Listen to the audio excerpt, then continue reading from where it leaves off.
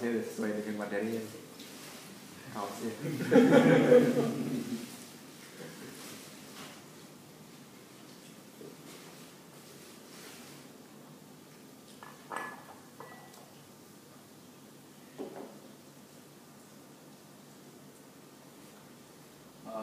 Oke, Assalamualaikum. Waalaikumsalam. Selamat siang.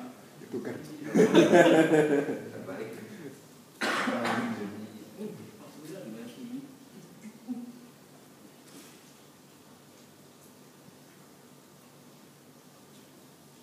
itu kan Tadi waktu screennya tadi.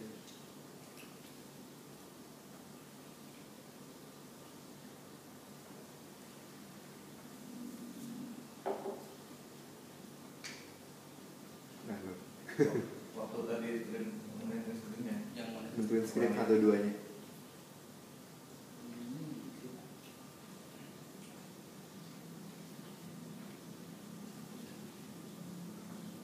ini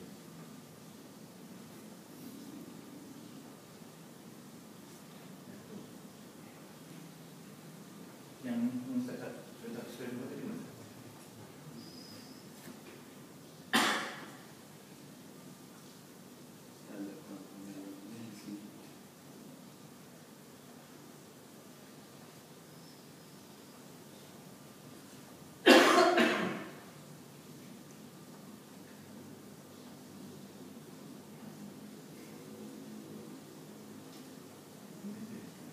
nggak tahu Tuh kan. Ada yang tahu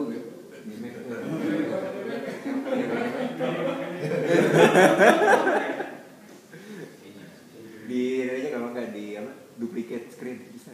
Iya. kalau bingung Hmm, dicopot lagi cabut lagi cabut lagi cabut Nah, ini nah dah. kayak cuman Dah. di mirror aja kalau bingung Ada yang gini loh. nah mirror aja nah Oke, eh, assalamualaikum, selamat siang. Eh, saya kayaknya saya salah prediksi waktu ya. Di sini bisa ada masing-masing. Eh, saya Aldi dari Infinity Cloud. Eh, hari ini saya akan coba bawakan tentang Docker, eh, introduction tentang Docker. Eh, basic teman saya, saya di, lebih banyak di .NET, di .NET Development, eh, lebih banyak main sama teknologi Microsoft. Jadi eh, di Linux pun masih ngeraba-raba, eh, ya begitulah. Saya di Infinity Cloud itu cloud service provider. Eh, kita ada nyediain eh, berbagai macam cloud services. Mungkin brandnya ada Infinity Cloud, ada Cloud Kilat kalau yang udah pernah dengar. Eh, ini Twitter saya, kalau ada yang mau follow, kalau ada yang mau. Eh, Docker. Oh ya, saya punya cerita ini tentang logo Docker. Ada yang tahu siapa yang bikin logo Docker? nggak tahu Eh, ternyata yang bikin logo Docker itu orang Indonesia. oh ya Eh, jadi kemarin pas nyari-nyari logo Docker ini, ketemu postingannya di blognya Docker. Katanya itu yang bikin desainer Indonesia, namanya. Ricky asam tadi Ricky Asamanis. Itu Eh, nicknya dia ya? tuh salah satu top desainer di 99 Design. Ada yang tahu kan 99 Design? Perusahaan iklan. Kayak kompetisi desain gitu, bikin logo. Dia salah satu top desainer di sana. Dan si Dockernya ngadain eh, kompetisi gitu, yang menang dia. Asam manis. Saya rasa sih bukan nama asli kali ya. Manis.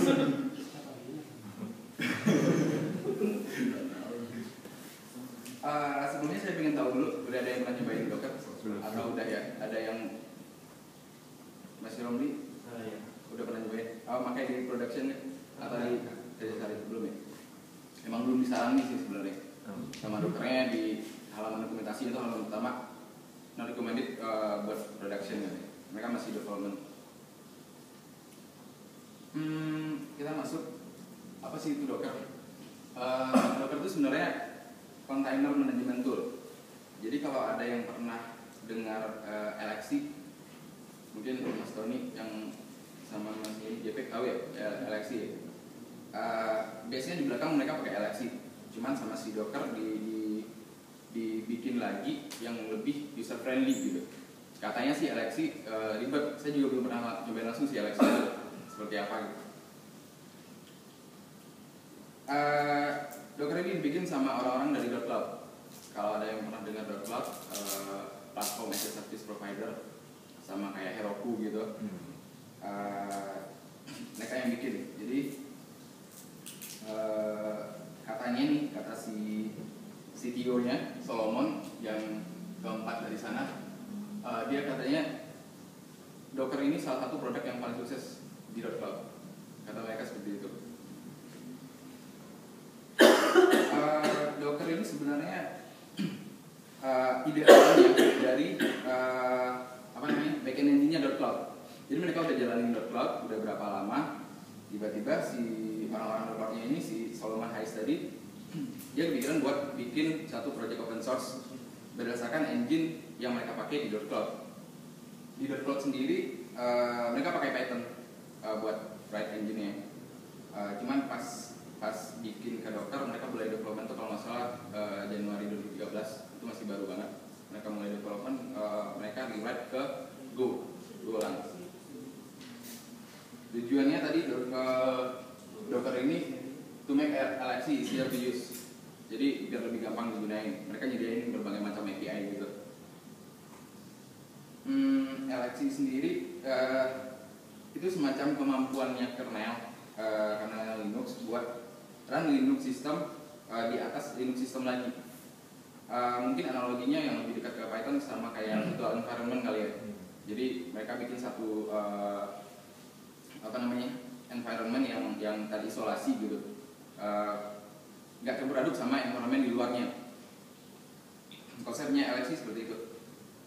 Uh, nah LXC itu Linux container sebenarnya itu grup dari beberapa proses. Jadi kalau kita nyalain host jadi ntar misalnya saya mau nyobain uh, hostnya Ubuntu.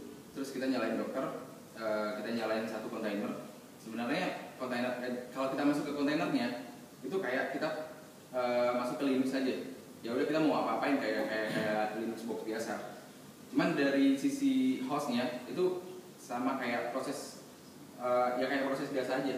Bukan bukan kalau di uh, virtual mesin biasa kan biasanya prosesnya berupa ini ya. Saya kalau tidak pakai virtual box berarti prosesnya virtual box gitu.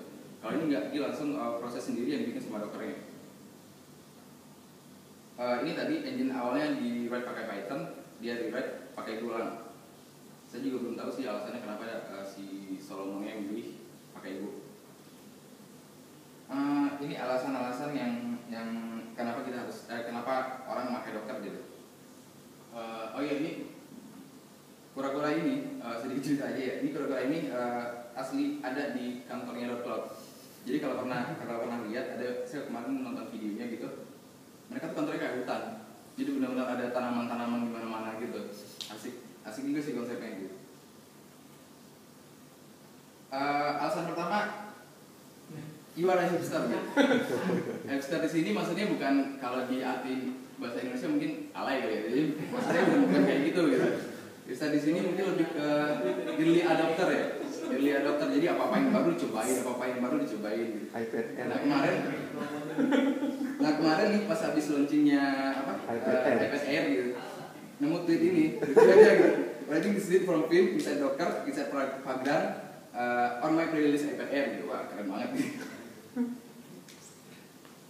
Uh, alasan berikutnya uh, reinstalling Ubuntu from scratch is not fun jadi misalnya di Linux itu kadang-kadang uh, pengalaman pengalaman nih kemarin ada klien uh, entah kenapa dia punya Linux uh, VPS sendiri dia otak atik otak atik otak atik crash uh, kayaknya dia salah salah komen atau apa gitu nah uh, solusi paling simpel biasanya kalau di, di Linux uh, bukan di Linux saja sih di operating system apa pun kalau udah hancur kayak gitu ya udah install ulang gitu Iya.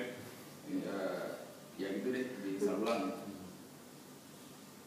Uh, terus dari sisi development dari sisi software developmentnya buat ship code uh, misalnya kita udah bikin uh, satu aplikasi buat shipmentnya ke ke mesin lain. Misalnya di sini kita punya uh, mesin development. Terus kita pengen pengen uh, ini udah selesai nih kita mau ngasih ke tester gitu. Tester punya mesin sendiri gitu. Paling gampang tuh sebenarnya pakai VM jadi kita tinggal copy image udah terus silakan kalian run image-nya udah jadi tinggal run. Kita kita nggak usah mikirin uh, konfigurasinya kayak apa gitu run aplikasinya mau kayak gimana gitu. Itu kita tinggal kasih image-nya run udah ini silakan kalian pakai.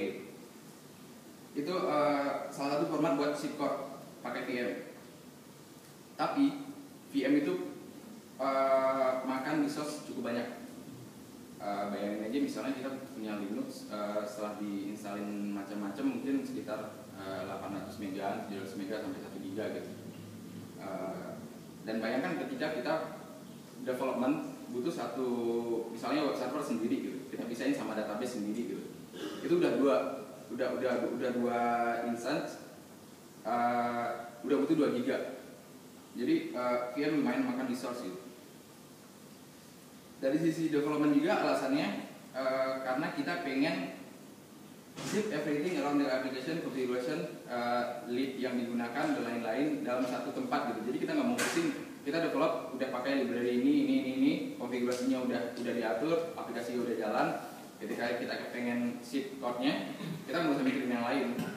Kita tinggal kita punya sesuatu kita kasih ke orang yang misalnya tadi tester uh, ya udah testernya tinggal jalan kita nggak usah mikirin lagi gitu uh, dari sisi developer juga developer kan garanti that uh, apa yang udah mereka bikin, mereka udah jalanin aplikasi udah jadi, ya itu udah benar-benar sama yang setelah uh, aplikasinya itu dikasih ke orang lain, itu benar-benar sama ya, sama yang mereka punya awalnya. Jadi eh, nggak uh, perlu nggak perlu konfigurasi dan lain-lain sebagainya. Uh, tantangannya di sini kenapa orang pakai Docker?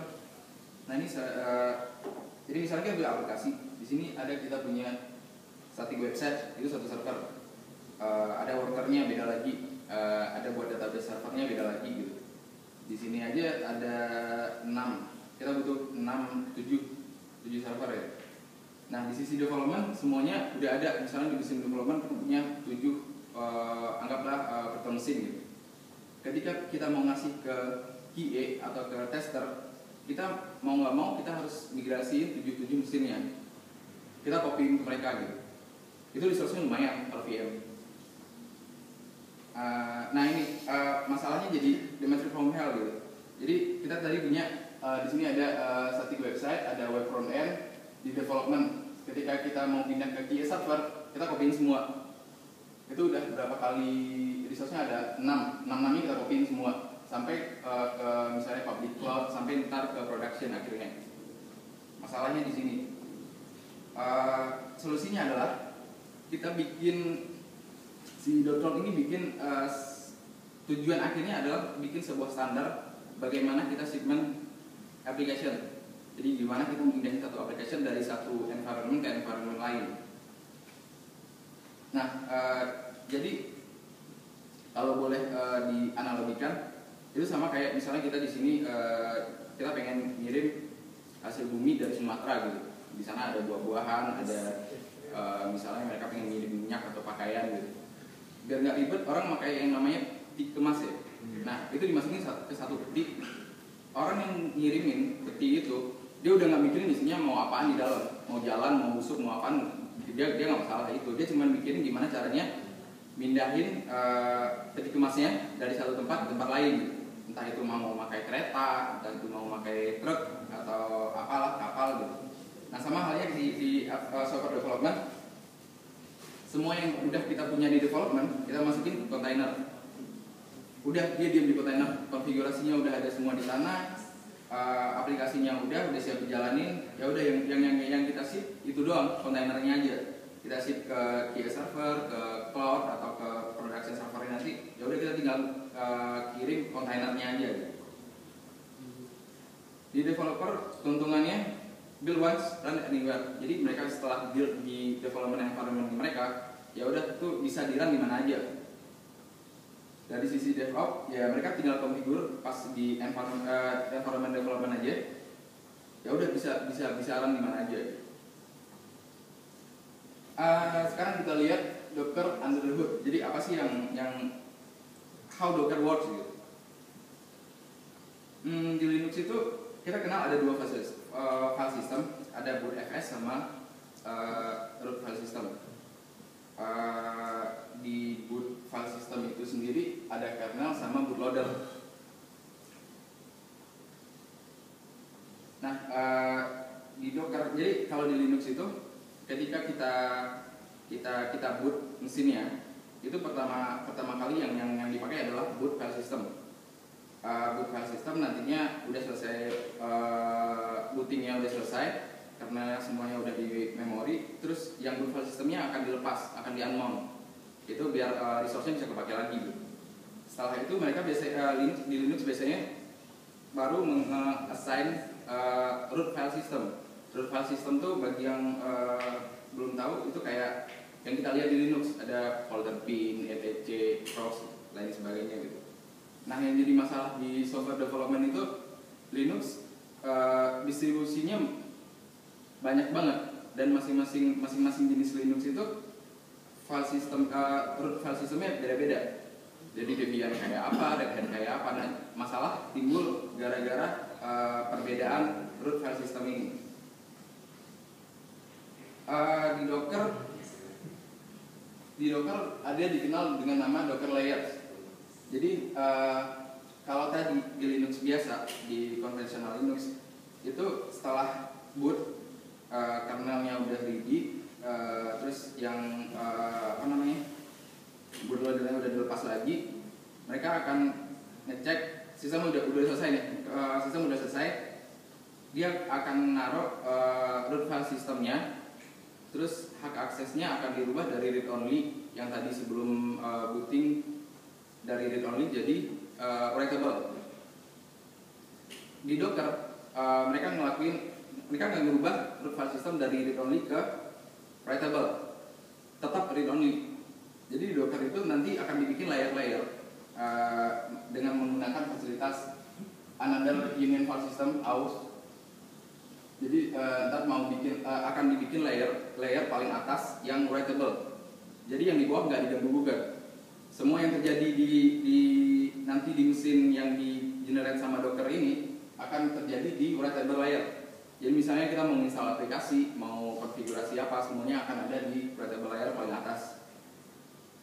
Terus ada lagi di Docker namanya Docker Image. Docker Image itu uh, yang tadi kita bilang read only layer. Jadi kalau tadi si uh, root file system yang nggak dibikin writable berarti di read only. Nah itu image image paling dasar di uh, kontainernya Docker paling bawah. Uh, di sini bisa kita lihat misalnya di sini awalnya basic image-nya Debian. Terus kita udah install uh, di sini dia install Emacs. Setelah dia install Emacs uh, di commit, jadi istilah ada di Docker ada istilahnya commit uh, buat bikin satu kontainer jadi Emacs. Jadi bisa uh, si kalau udah jadi Emacs bisa dipakai lagi buat kontainer berikutnya. Kalau udah jadi Emacs, ntar dia lagi bikin kontainer baru, ada writable writable layer lagi di atasnya, dia install di sini ada Apache, dia jadi Emacs lagi. Jadi numpuk terus. Kalau udah jadi image udah dia read only, dia bakal terus ke atas. Uh, Docker container kurang lebih uh, arsitekturnya seperti ini. Paling bawah tuh kernel, mereka uh, sharing kernelnya. Mereka kernelnya dipakai dipakai bareng-bareng. Uh, itu yang handle semuanya di uh, LXC Linux uh, container. Terus uh, dan di sini bisa kita lihat ada uh, ada uh, image-nya DC box terus ada writable lagi di sebelah sana juga ada Debian. Uh, image-nya udah berlapis-lapis paling atas writable lagi. Dan ini bisa jalan bareng-bareng di satu host ke di host di kernel ini ini terlihatnya cuma sebagai proses biasa biasa proses biasa aja. Di Docker ada juga namanya Docker Index. Ini kayak GitHub kali ya, uh, GitHub buat open source. Misalnya kita bikin satu uh, software, kita taruh di GitHub, orang bisa pakai bareng-bareng gitu.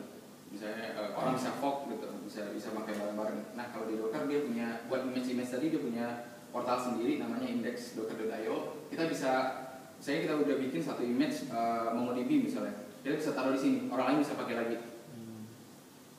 Uh, satu lagi di Docker registry ini ini kan yang buat umum kita juga bisa punya uh, docker, docker registry sendiri dibikin privat jadi misalnya uh, di company kita developernya kita bikinin satu docker registry semuanya naruh uh, image-nya di sana. Uh, nyobain langsung docker ada istilah namanya docker file. Docker file ini semacam file konfigurasinya. Kurang lebih bentuknya seperti ini. Uh, di sini di Docker file uh, pertama tuh ada from, from itu buat uh, description kita mau pakai image yang mana. Uh, di Docker itu ada base image yang benar-benar dasar uh, kayak Ubuntu, CentOS, VCBox gitu. Kita select di sini kita mau pakai image yang mana. Terus ada maintainernya siapa. Yang ke bawahnya itu adalah komen ketika kontainer ini jalan. Jadi ketika kontainer ini jalan nanti kita kita ini uh, apa skenario kita mau bikin satu image terus ngejalaninnya sebagai kontainer. Ketika image-nya udah jadi, kontainer jalan, dia bakal otomatis uh, ngeran komen-komen itu. Jadi dia ngupdate dulu apt-get-nya, ntar dia uh, di sini saya cobain install Python sama uh, Pip. Terus yang di bawah lagi ada expose, itu buat uh, ngebuka port berapa yang bakalan diekspos di kontainer itu nantinya.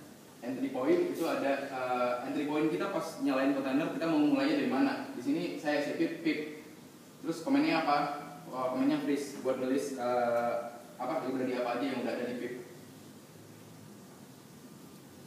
Hmm, ini ngebuildnya.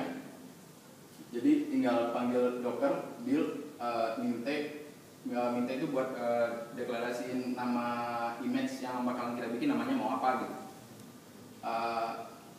Di sini. Tadi kan uh, apa namanya docker file Ubuntu terus dia udah uh, di step satu dia oh Ubuntu oke okay, gitu. Di sini ini bisa langsung cepat karena sebelumnya saya udah pernah nge-pull uh, apa namanya image Ubuntu ke mesin ini. Jadi dia dia nggak usah download lagi oh Ubuntu udah ada. Ya udah dia tinggal oh Ubuntu udah ada. Terus dia execute baris-baris selanjutnya di docker file uh, terus di docker ada istilah namanya pull image pull image ini buat narik dari uh, registry jadi kalau defaultnya tadi dari index uh, .docker.io. Di sini kita mau narik misalnya Ubuntu tagnya kuantal atau 1204 eh 1204 atau 1210 gitu. Uh, kalau Ubuntu aja biasanya dia langsung ngambil yang atasnya. Uh, di sini komen buat nampilin image yang ada di mesin.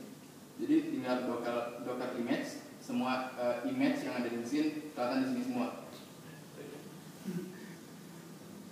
ada Jokowi juga ya. lupa ngapus itu uh, ini docker image terus buat create container jadi uh, kita sekarang mau cobain create container komennya adalah docker run min i min i itu buat uh, nyatain kalau kita bakalan ada input output dari terminal kita sekarang dari terminal hostnya uh, minta itu uh, TTI terus Ubuntu kuantal itu uh, image yang mau dipakai apa sama tagnya. Uh, terus yang akan dieksekusi apa? Di sini kita coba pakai binbus. Jadi ketika ini dieksekusi, ini bakal masuk ke satu kontainer. Uh, bisa dilihat di sana ada yang root add uh, namanya ID-nya acak. Itu ID kontainernya.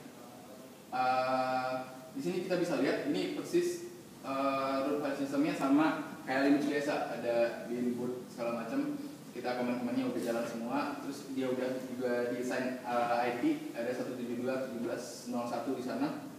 Oh, udah ini udah siap pakai. Kontainernya udah siap pakai.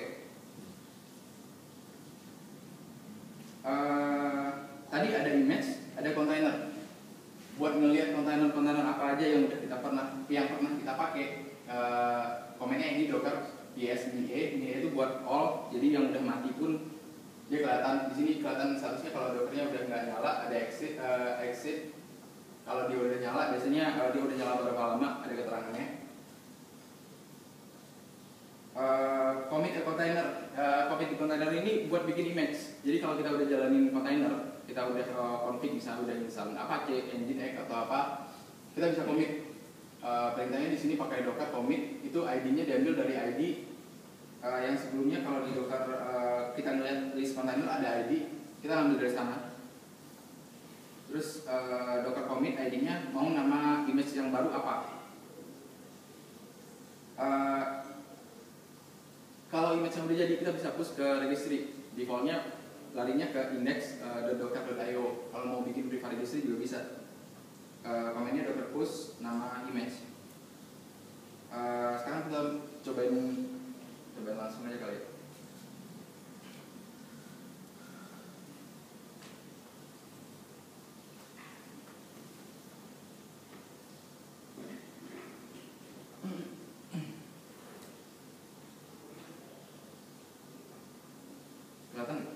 gede itu Sini saya pakai Vagrant buat nyalain Ubuntu karena Docker ini baru support di Ubuntu, uh, baru support di Ubuntu aja. Tapi ke depannya mereka masih development bisa di Windows, di macOS dan lain sebagainya. Di sini saya pakai Vagrant. Uh, nyalain dulu. Uh, di sini sekalian kita bandingin waktu yang dibutuhin buat satu virtual machine siap kita pakai.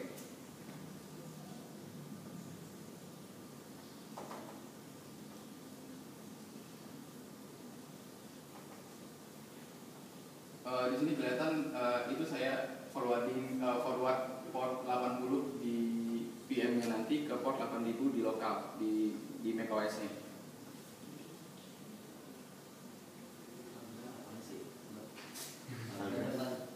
Vag- Vagrant itu semacam apa ya? Uh, ya benar wrapper. Jadi uh, di sini di sini sebenarnya dia pakai virtual box. Belakangnya dia pakai virtual box.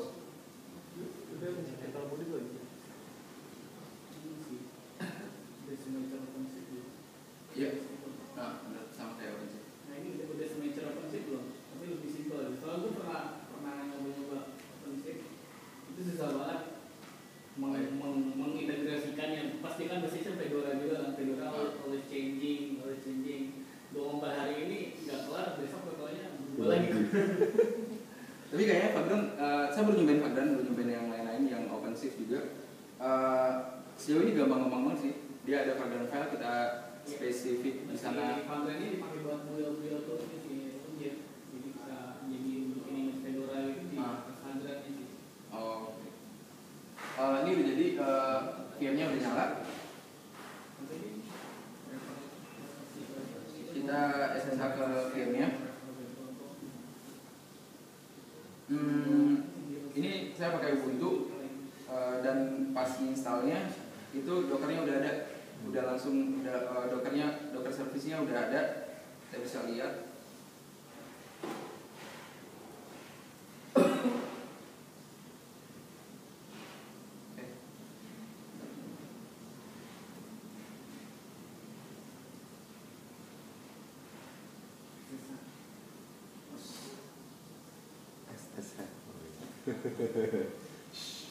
Nah, ini udah masuk ke Ubuntu-nya. Kita lihat service Docker-nya udah jalan apa belum. Eh, Docker-nya udah jalan, kita bisa panggil.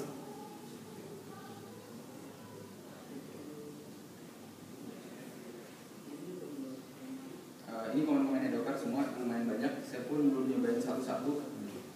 Eh, terus kita nyobain misalnya kita mau melihat image yang ada yang udah ada di sini apa. Eh, udah lumayan banyak juga. Up itu semua Kenapa? up semua itu four weeks ago statusnya berarti Oh enggak, enggak, enggak. Ini ini image. Kalau Oh, image itu oh, bukan, image, ya iya. lagi nggak dipakai, bukan kontainer. Terus kita coba lihat eh, kontainer yang lagi jalan nggak ada. Kalau mau lihat sama yang udah mati juga, Hmm.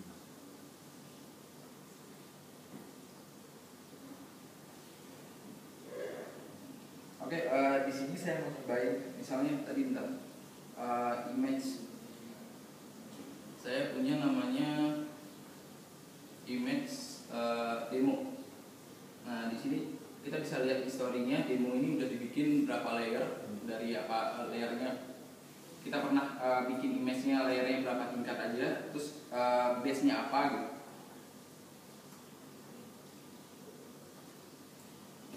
Nah di, di sini kelihat, eh, kelihatan ini awalnya dari Ubuntu, Ubuntu yang belum dikasih nama, terus dikasih nama Ubuntu. Ini langsung dari uh, index-nya ya, makanya dia waktunya 7 bulan yang lalu gitu. Eh, terus saya tambahin Python, saya tambahin Python. Setelah itu baru eh, ada yang demo.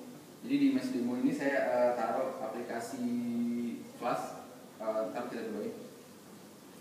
Eh, terus apa lagi ya? Kita nyobain eh, kita nyobain eh, run satu kontainer Eh, eh, di sini saya pakai komen eh, Minde itu buat Diamond jadi dia bakalan jalan di background. Eh, terus eh, nama image-nya oh, saya mau nyalain eh, service MongoDB Eh, terus saya eh, deklarasiin di sini entry point-nya pas dijalain dia bakalan execute apa? Di sini saya nyalain uh, service mode-nya. oh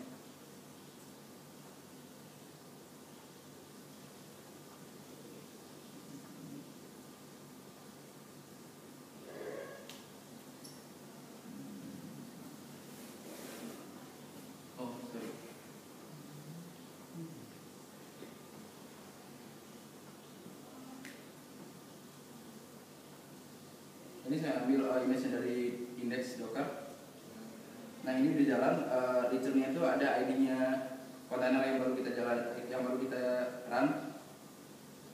Kita lihat di prosesnya ini udah jalan. 9 detik yang lalu uh, MongoDB-nya udah jalan. Uh, buat ngetes saya pengen connect ke bentar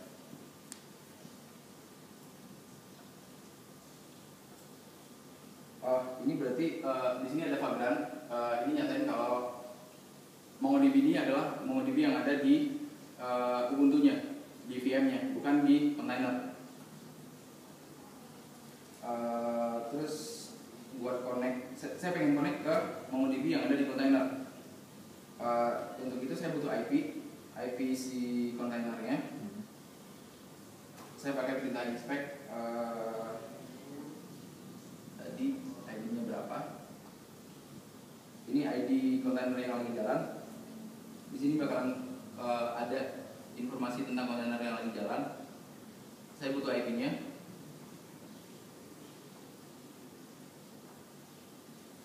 Sekarang saya coba connect eh, ke MongoDB di kontainer ini.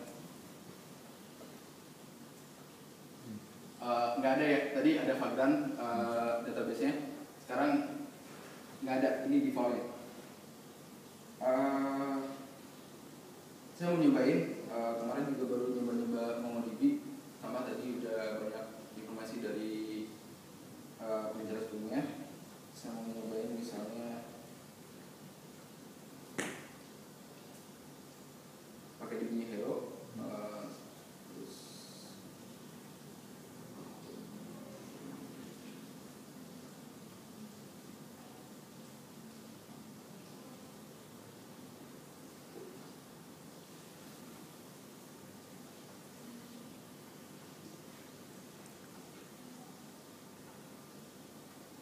Eh, saya insert dokumen ya istilahnya. Saya insert dokumen. Kita lihat. Eh, udah ada ya Hmm. ada message di sini. Eh, hello Python. Eh, nanti setelah ini saya akan cobain eh, run satu kontainer di sana ada eh, kelas buat ngambil eh, buat membaca data ini Eh, saya mau run kontainer baru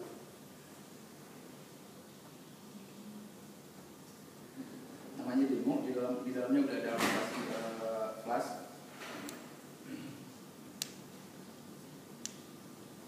Eh, di kontainer kita juga bisa forward port sama halnya kayak Fagdan tadi. Jadi port dari eh, kontainernya forward ke port berapa di eh, host host host VM-nya kita pakai command minp eh, jadi di sini port 80 nantinya di kontainer di forward ke port 80 yang ada di eh, Ubuntu yang ada di hostnya ini kita masuk ke Ubuntu eh, ke kontainernya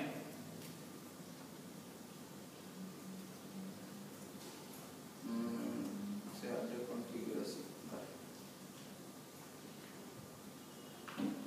Eh, ini aplikasi kelasnya.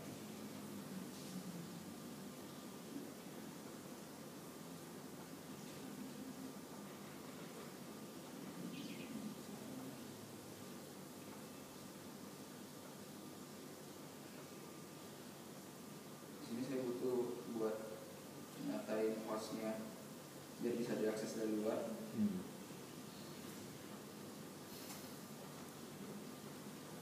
portnya jalan di port 80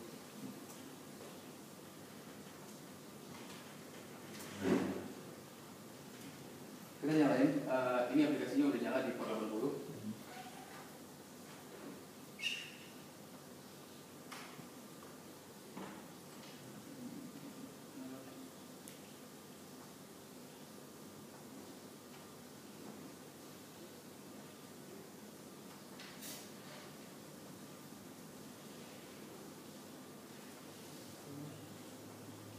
satu lagi eh, buat melihat di sini kita lihat proses yang lagi jalan udah ada dua Eh, ini yang demo yang aplikasi ya, di sini database nya Eh, di sini dinyatain portnya di forward dari 80 di container di forward ke 80 di host sekarang kita coba sekarang ya Eh, ntar saya mau lihat dulu IP nya si aplikasi servernya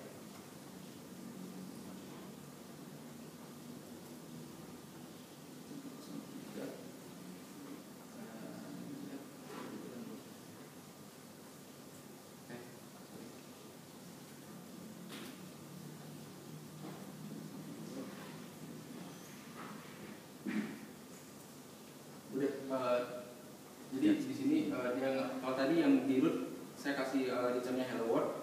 Saya nyobain yang dia connect ke database yang di- ada di kontainer eh, satunya lagi. Hello ID Python. Jadi dia udah ngambil dari sana. Oke. Saya rasa itu aja ada pertanyaan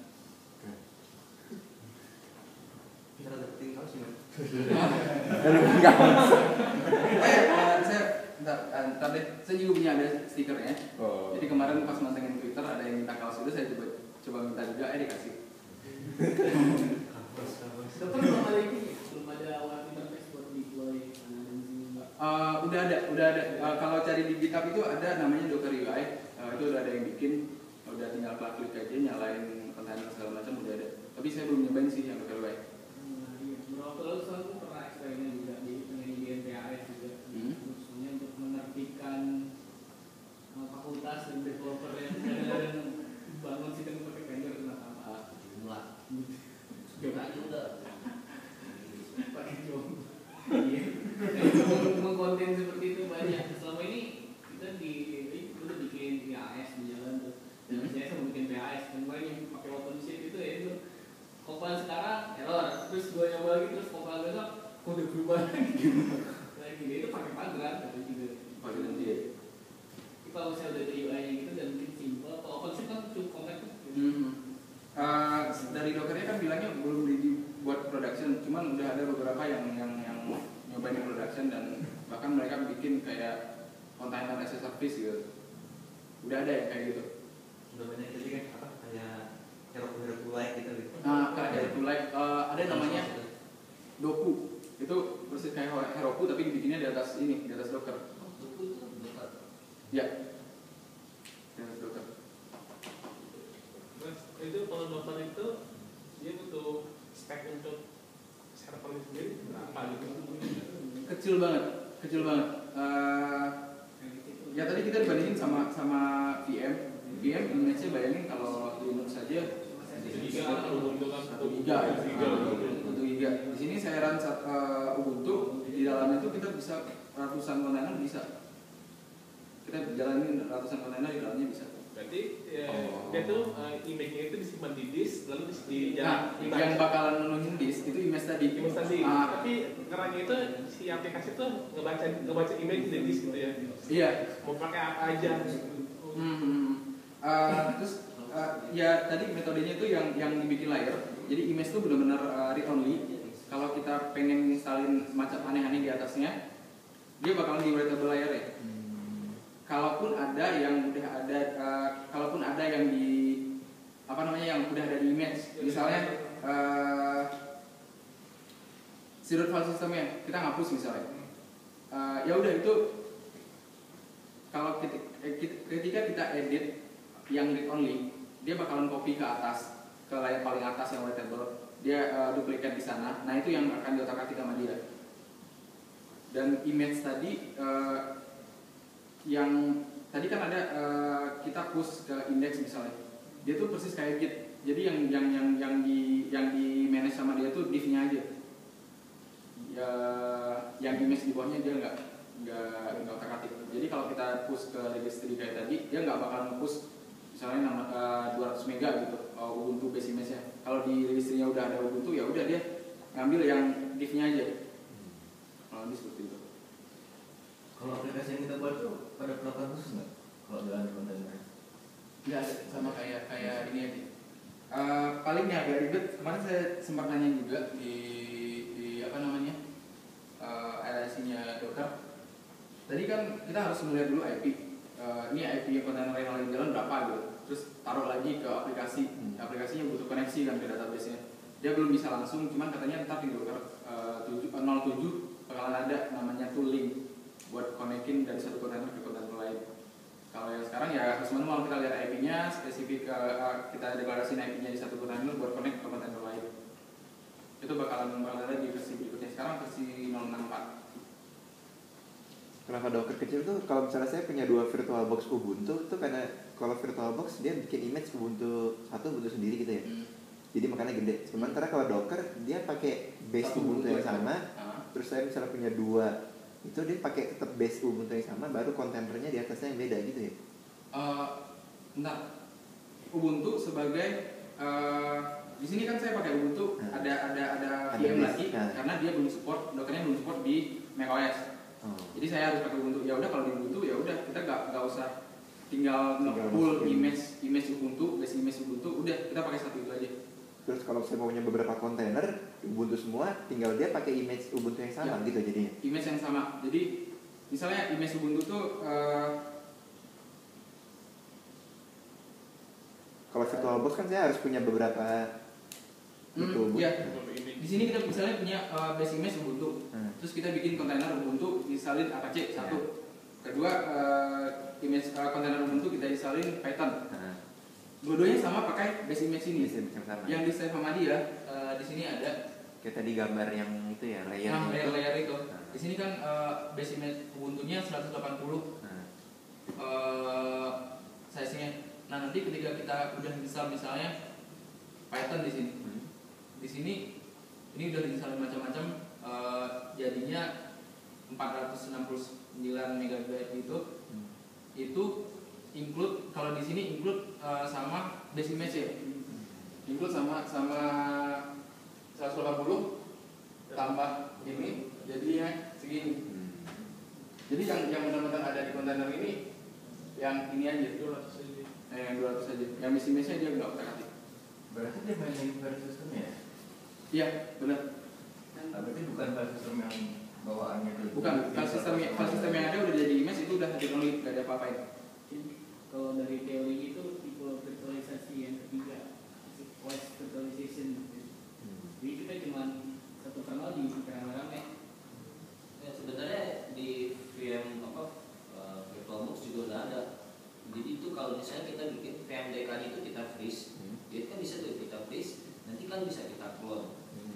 Nah, ya itu clone-nya itu sebenarnya yang yang dipakai yang ininya freeze gitu, yang yang iya yang, yang awalnya ini. Jadi kita bisa install Ubuntu di satu VM, terus terus kita freeze itu VM-nya, terus nanti kita clone kan, bisa kan tuh kita clone nanti clone-nya itu base dari dari VMDK yang di Jadi tempat full virtualize. Iya. Hmm. Google kan yang lihat semua. Kan ada pula ada Para, Para itu yang resen. Nah ini kan OS. Jadi satu kernel juga di rame-rame. Iya. Untuk monitor kontainernya ada lagi toolsnya. Monitor maksudnya? Kan misalnya ada beberapa kontainer banyak gitu. Ah. Si dockernya memonitor utilisasinya lah apanya gitu. Oh, nggak ada. Itu kayak VS kosongan aja kalau mau lihat eh, resource di dalamnya harus masuk ke VM. Si hostnya maksudnya berarti dari hostnya ya kalau gitu ya. Eh, iya dari hostnya. IP juga di direct. Eh, IP dia langsung generate sendiri Kalau kayak signer. Tapi nggak bisa dari luar. dari luar maksudnya. Maksudnya kayak dari dia luar jaringan masih. Eh, itu yang yang yang port forwarding tadi. Jadi eh, ini masih Berarti dari luar kita kasih sapinya yang si mosnya ya. Ya, benar. Mosnya nanti bawa formnya ke dalam. Hmm. Di sini tadi kan udah nyala nih eh, di port 80 di hostnya Ubuntu. Saya cobain dari ininya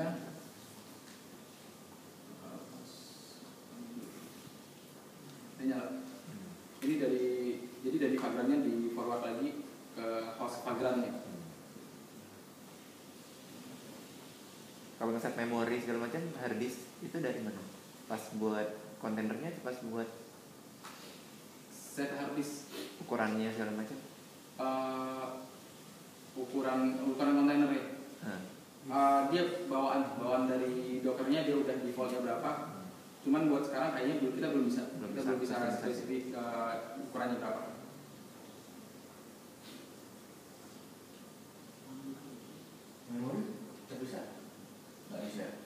memori dia kayak proses aja. Jadi di ubuntu dia kayak proses. Jadi dia makanya memori dari Ubuntu